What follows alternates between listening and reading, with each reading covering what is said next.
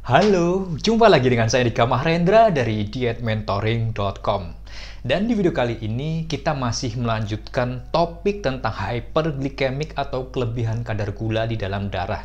Dan kali ini kita fokus membahas tentang bagaimana hyperglycemic bisa menyebabkan uh, gangguan hormonal yang ditandai dengan untuk laki-laki biasanya prostat dan untuk wanita biasanya masalah-masalah seperti haid dan lain sebagainya.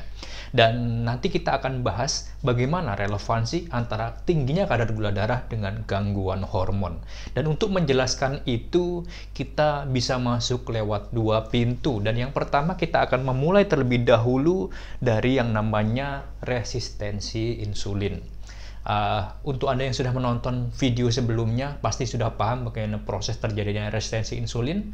Tapi untuk Anda yang belum menonton, mau tidak mau saya akan coba berikan penjelasan uh, yang lebih lebih cepat ya agar Anda bisa memahami ini terlebih dahulu sebelum masuk ke namanya gangguan hormonal.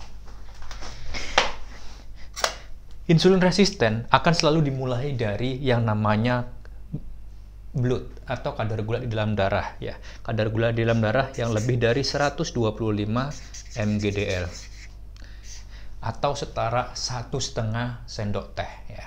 Sekitar itu aja gula darah. Nah, pada saat gula darah itu lebih dari 125 mgdl, di atas itu baik entah itu gula dari dalam atau gula dari luar gitu ya, maka tubuh akan mengutus ah, sel beta pada pankreas untuk menciptakan sebuah hormon yang bernama hormon insulin. Nah, hormon insulin ini posisinya seperti driver Gojek yang bertugas mengirim kelebihan gula dari dalam darah untuk dikirim ke sel dan kemudian oleh sel akan dibakar. Jadi, insulin ini akan beredar di dalam darah dan kemudian membawa kelebihan gula di dalam darah ini menuju sel. Ya. Dia masuk ke sebuah pintu dalam sel yang bernama reseptor. Insulin reseptor. Nah, selain uh, pintu insulin reseptor, di dalam sel juga terdapat pintu lain yang bernama GLUT4. Nah, GLUT4 ini dia akan mengikuti dari pintu reseptor. Pada saat pintu di reseptor ini terbuka, insulinnya bisa masuk, maka GLUT4 ini akan terbuka. Tapi kalau uh, re insulin reseptornya ini tertutup, maka GLUT4-nya juga akan tutup. Nah, karena insulin ini membawa kelebihan gula di dalam darah menuju sel dan kemudian insulinnya masuk lewat insulin reseptor, maka GLUT4 ini akan terbuka dan kelebihan gula di dalam darah dia akan masuk ke dalam sel. Maka gula yang awalnya tinggi uh, dia bisa masuk ke sel dan dibakar itu yang menyebabkan gula kita normal kembali ya. Jadi ada orang yang misalnya makannya banyak banget makan gula manis-manis kok dia tubuhnya masih baik-baik aja karena selnya masih bisa uh, mencerna atau memetabolisme gula dalam kondisi yang masih baik gitu ya. Selama badannya masih bagus masih bisa memproduksi ini maka kelebihan gula di dalam darah masih well-well aja akan tetapi, akan tetapi karena kadar gula kita selalu tinggi uh, karena aktivitas makan pagi, siang, malam belum ngemil-ngemilnya, terus belum lagi di dari dari stres, dari begadang, kurang piknik, kebanyakan ngomongin politik, nyinyir dan lain sebagainya, maka hampir setiap waktu kadar gula darah kita tinggi dan kemudian insulin ini akan terus diproduksi oleh pankreas untuk menekan kelebihan kadar gula di dalam darah. Nah, karena insulin begitu sering datang menuju sel membawa kelebihan gula, sementara sel juga punya batas kemampuan untuk memetabolisme gula gitu ya. Uh, pabrik mereka juga terbatas, nggak bisa dipasok gula terus-menerus, maka lama-kelamaan sel ini akan menutup reseptornya. Nah, pada saat sel menutup reseptor, maka insulin tidak bisa masuk pada saat insulin tidak bisa masuk di dalam reseptor, maka otomatis GLUT4 juga akan menutup sehingga kelebihan gula di dalam darah tidak bisa masuk. Nah, kondisi di mana sel ini menolak insulin yang membawa kelebihan gula di dalam darah ini yang disebut sebagai insulin resisten. Ya, insulin resisten. Nah, kalau udah insulin resisten terjadi, ya udah ke mana-mana permasalahannya. Banyak banget problem-problem yang akan muncul. Anda boleh googling sendiri, ya, bagaimana uh, insulin reseptor insulin resisten ini menyebabkan berbagai macam penyakit. Anda ngetik aja insulin resisten gitu, terus cari image gitu, pasti akan banyak banget keluar gambar-gambar yang menunjukkan implikasi dari insulin resisten. Nah, terus gimana caranya untuk mengukur kita insulinnya udah resist atau belum? Ya, mau tidak mau sebenarnya bisa ke dokter, periksa bagaimana kondisi insulinnya. Atau cara paling gampang, cara paling gampang adalah dengan mengukur lingkar pinggang. Jadi lingkar pinggang itu diukur, carilah panduannya di di Google ya, bagaimana cara mengukur lingkar pinggang. Intinya, uh, seorang lelaki lingkar pinggangnya itu harus di bawah 90 cm. Sementara wanita, uh, wanita itu tandanya gimana sih? Gini, lingkar pinggangnya itu harus di bawah 80 cm. Nah, tanda Anda insulin resisten atau enggak, salah satunya adalah dari lingkar pinggang. Kalau Anda laki-laki dan lingkar pinggangnya di atas 90, maka sudah bisa dipastikan atau kemungkinan besar banget Anda sudah mengalami insulin resisten. Dan kalau Anda perempuan, lingkar pinggangnya sudah di atas 80 cm, maka bisa dipastikan atau kemungkinan besar Anda sudah insulin resisten. Itu salah satu patokan yang bersifat fisik yang gampang kita lihat tanpa perlu harus datang ke dokter untuk uji lab. Atau uh, kalau Anda melihat misalnya di, di tengkuk sini hitam-hitam, di ketiak, terus di mana lagi ya? Di, di, di pinggang biasanya ada garis-garis hitam itu juga tanda kalau Anda sudah insulin resisten. Itu patokannya. Nah, ketika insulin resisten sudah terjadi, salah satu gangguannya nanti adalah yang namanya hormonal imbalance ya. Jadi salah satu efek atau dampak dari insulin resisten itu hormonal imbalance. Nah, maksudnya hormonal imbalance itu apa Mas Nika? Nah, maksudnya gini. Laki-laki dan perempuan itu punya hormon ya sama-sama memiliki hormon estrogen, sama-sama memiliki hormon testosteron. Ya. Akan tetapi, estrogen ini dia lebih banyak di dalam tubuh perempuan. Ya. Tapi sedikit di tubuh laki-laki. Karena itu, estrogen ini disebut sebagai hormon perempuan. Sementara testosteron adalah hormon yang dia ada dalam jumlah besar di dalam tubuh laki-laki. Ada juga di dalam tubuh perempuan, tapi sedikit. Sehingga testosteron itu sering dianggap sebagai hormon lelaki. Lelaki itu logonya gimana sih? Gini ya. Gitu. Nah, akan jadi sebuah hormonal ideal atau hormon yang ideal itu kalau perempuan dia memiliki hormon estrogen dalam jumlah besar sementara hanya memiliki hormon testosteron dalam jumlah yang sedikit. Sebagaimana laki-laki idealnya memiliki hormon testosteron dalam jumlah besar dan memiliki hormon estrogen dalam jumlah sedikit. Itu yang disebut sebagai uh, balance ya, hormonal balance. Akan tetapi, karena mengalami insulin resisten, salah satu akibatnya adalah terjadinya hormonal imbalance. Imbalance itu artinya gimana? Artinya, perempuan hormon laki-lakinya atau testosteronnya itu banyak dan dan estrogennya justru sedikit. Yang laki-laki, hormon testosteronnya cuma sedikit, sementara hormon estrogennya banyak. Atau gampangannya, perempuan hormon laki-lakinya lebih banyak dibanding hormon perempuannya. Sementara laki-laki, hormon laki-lakinya itu lebih sedikit dibanding hormon perempuannya. Hormon perempuannya jauh lebih banyak. Itu yang disebut sebagai hormonal imbalance. Apa itu ada? Ada. Banyak banget gitu. Silahkan Anda cek. Ya. Terus apa konsekuensinya kalau terjadi hormonal imbalance di dalam tubuh kita?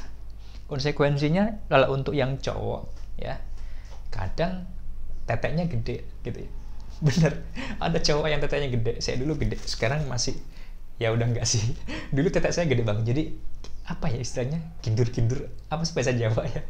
Jadi kalau untuk lari itu undur-undur gitu. Sekarang banyak nggak cowok yang teteknya gede? Banyak gitu loh. Sementara yang perempuan kalau dia mengalami hormonal imbalance yang gejala-gejala fisik yang bisa kita lihat biasanya suaranya akan lebih berat ya. Banyak kok perempuan yang suaranya eh, kayak laki-laki terus kemudian akan tumbuh apa namanya bulu-bulu di tempat yang tidak semestinya untuk perempuan berkumis misalnya terus eh, tangan-tangannya banyak bulunya gitu. Itu sesuatu yang tidak wajar untuk perempuan. Apakah itu masalah? Belum. Belum terlalu masalah ya. Nggak nggak terlalu masalah banget. Akan tetapi ketika ini sudah akut maka nanti larinya ya untuk yang laki-laki uh, laki efek lanjut dari hormonal imbalance itu adalah ini paling banyak di derita laki-laki ini. Prostat.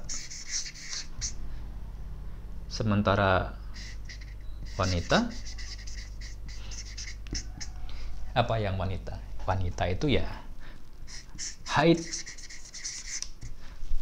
Haidnya bermasalah. Bermasalah itu mulai dari haidnya nggak tepat waktu haidnya nggak teratur ya.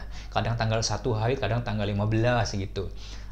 Atau haidnya uh, sakit ya sakit banget darahnya kental banget. Bahkan kadang keluar kayak apa namanya kayak ati ayam misalnya. Atau haidnya justru stop. Banyak loh perempuan yang usianya masih muda 25 tahun gitu. Eh, satu tahun gak haid. Bahkan di peserta diet mentoring itu paling lama saya pernah nanganin itu perempuan usianya masih 35an ya itu lima tahun gak haid kebayang nggak tuh lima tahun nggak haid padahal haid bagi perempuan itu kan proses di mana tubuh uh, membuang darah kotor ya.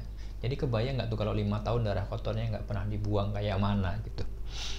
Nah, selain ini biasanya dia sering ngerasa nyeri di punggung, di, di perut bagian bawah dan lain sebagainya. Dan kalau didiam-diamkan, larinya adalah ke miom, ke kista, terus apa lagi? Endometriosis, Terus masalah kehamilan ya susah banget hamil. Setiap hamil keguguran, setiap hamil tengah jalan bayinya nggak bisa membesar atau bahkan justru uh, indung telurnya nggak bisa membesar. Setiap terjadi pembuahan mau besar pecah. Dan uh, saya pernah yang lihat sendiri foto uh, orang yang mengalami penebalan rahim gitu. Jadi di, di, di dalam rahimnya itu seperti ada lapisan yang lengket dan tebel kayak apa ya? Kayak gulali. Ya kalau anda pernah lihat gulali kembang gula itu lah ya. Jadi dia keras gitu. Dan kebayang nggak? Itu akhirnya setelah dia membenahi gaya hidupnya ya itu keluar dari Miss V-nya gitu. Uh, warnanya coklat-coklat gelap gitu ya. Kebayang itu sakit banget gitu. Itu penebalan rahim. Ya sampai sekarang ini problem yang banyak banget ditemui orang terutama yang yang perempuan ya. Banyak banget sekarang perempuan yang mengalami uh, miom mengalami kista endometriosis penebalan rahim dan lain sebagainya. Dan sampai sekarang belum jelas penyebabnya apa ya. Belum jelas penyebabnya apa. Dan kalau kita baca literatur atau kita konsultasi ke dokter. Saya sendiri waktu uh, dampingin kakak saya yang terkena miom juga seperti itu. Uh, disebutkan salah satunya adalah gangguan hormonal gitu doang. Gangguan hormonal. Jadi miom kista penebalan rahim dan lain sebagainya itu salah satu penyebabnya adalah gangguan hormonal. Ada juga nyebut apa namanya uh, bersifat genetik ya diturunkan dari orang tuanya. Nah sementara gangguan hormonal sendiri nggak jelas hormonal mana yang terganggu terus kemudian uh, cara ngatasinya gimana nggak pernah. Cuman dulu di di apa namanya disarankan untuk nurunin berat badan gitu doang ya. Turunin berat badannya terus dikasih obat dan lain sebagainya. Dan ya begitu karena ini terjadi kepada orang yang istimewa dalam kehidupan saya, kakak saya gitu ya. Saya mencari tahu sebenarnya apa sih penyebabnya gitu. Oh, ternyata karena masalah hormonal atau hormonal imbalance ini. Ini kebalik-balik antara laki sama perempuan gitu ya. Dan setelah di treatment waktu itu kami coba untuk benahin ininya hyperglikemiknya. Alhamdulillah dalam waktu dua bulan miomnya dari 7 itu jadi 2 cm ya.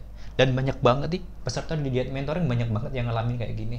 Yang kemudian uh, miom atau kistanya mengecil nggak jadi operasi terus yang lima tahun nggak haid itu udah bisa haid. Ada yang tujuh tahun nikah kemudian nggak nggak hamil hamil bisa hamil. Sekarang anaknya udah gede orang Jogja bisa dicari sendiri. Terus kemudian yang apa namanya uh, bahkan ada juga yang nggak bisa ereksi. Apa sih istilahnya? Nggak bisa ereksi. Ini dibenerin udah bisa lagi loh gitu.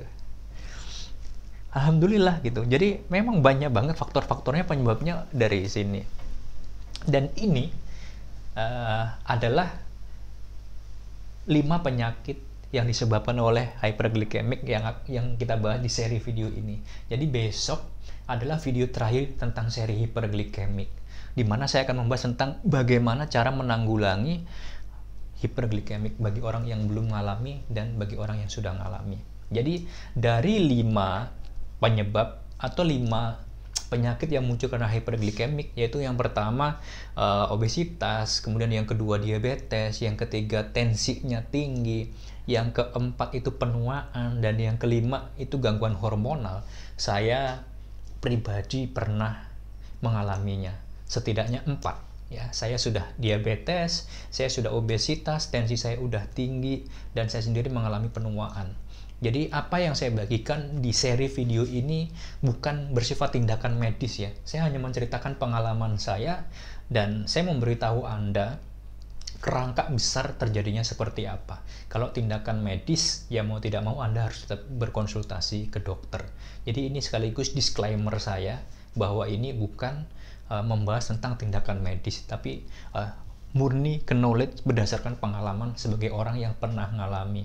Dan yang kelima, saya tidak mengalami tapi saya sudah mendampingi karena kakak saya sendiri mengalaminya dan banyak banget peserta diet mentoring yang mengalami dan alhamdulillah mereka uh, kondisinya kian membaik. Banyak banget ceritanya yang udah uh, miomnya mengecil, terus kistanya mengecil nggak jadi operasi. Kemudian yang haidnya macet bisa haid lagi dan yang nggak bisa hamil alhamdulillah bisa hamil lagi. Itu banyak banget. Jadi silahkan anda ambil hikmahnya. Jadi intinya uh, kuncinya hyperglycemic. Teori mana pun sejauh ini alhamdulillah semuanya tidak membenarkan hyperglycemic kelebihan gula di dalam darah itu nggak bagus semua sepakat tentang itu jadi nggak ada orang yang bilang hiperglikemik itu bagus, nggak ada. Sejauh ini saya belum menemukan. Semuanya sepakat bahwa kelebihan gula di dalam darah itu adalah toksin, itu adalah racun. Karena itu hyperglikemik ini harus di uh, dikontrol, jangan sampai terjadi. Banyak banget obat-obatan yang mengejar ini, tapi ya kalau cuma dikasih obat, sementara penyebabnya nggak kita hentikan, ya obat bisa Anda konsumsi seumur hidup gitu. Sementara saya yakin Anda nggak maulah minum obat seumur hidup. Dan saya yakin juga semua dokter itu nggak kepengen pasiennya minum obat seumur hidup. Uh, semua dokter, saya yakin semua dokter itu baik, jadi mereka suka kalau pasiennya sembuh gitu ya. Jadi saran saya selain mengkonsumsi obat yang sudah diberikan oleh dokter, pastikan Anda juga mengontrol sumber-sumbernya. Kalau sumbernya dihentikan, uh, mengkonsumsi obat nanti lama-kelamaan kondisi sudah baik, dan kalau Anda konsultasi ke dokter, kondisi membaik, pasti yakin dokter akan meminta Anda menyetop obatnya. Oke, ini adalah uh, penyakit terakhir yang muncul karena hyperglycemic dalam seri ini. Besok saya akan fokus bagaimana cara uh, mencegah bagi Anda yang belum mengalami dan bagaimana menanggulangi bagi yang sudah mengalami berdasarkan pengalaman pribadi saya sebagai orang yang pernah mengalami 4 dari 5 penyakit akibat hyperglikemik. Mudah-mudahan jelas, mudah-mudahan bisa terbaca kenapa sekarang banyak banget laki-laki uh, yang prostat, kenapa banyak banget perempuan yang sekarang mengalami miom, kista, penebalan rahim, susah haid dan bahkan susah hamil itu uh, disebabkan karena insulin resisten akibat dari hyperglikemik. Jadi silahkan share video ini ke orang-orang terdekat Anda, kepada teman-teman Facebook, teman-teman WA, teman-teman kerja dan lain sebagainya karena ini penting banget ini menyangkut masa depan keturunan Anda. Ini menyangkut eksistensi Anda nama keluarga Anda dan lain sebagainya. Dan kalau ada yang nggak jelas silahkan tulis di kolom komentar. Insya Allah akan saya balas atau kalau perlu akan saya bahas dalam video khusus. Dan untuk anda yang cuma nonton doang tapi nggak subscribe tolong subscribe ya. Biar kita bisa sama-sama bangun channel ini biar besar biar makin banyak yang nonton biar banyak orang yang uh, hidupnya jadi lebih sehat dan mudah-mudahan itu bisa menjadi amal jariah kita pada saat mengerjakannya. Oke, sampai jumpa di video berikutnya. Saya Nika Mahendra. Assalamualaikum warahmatullahi wabarakatuh. See you.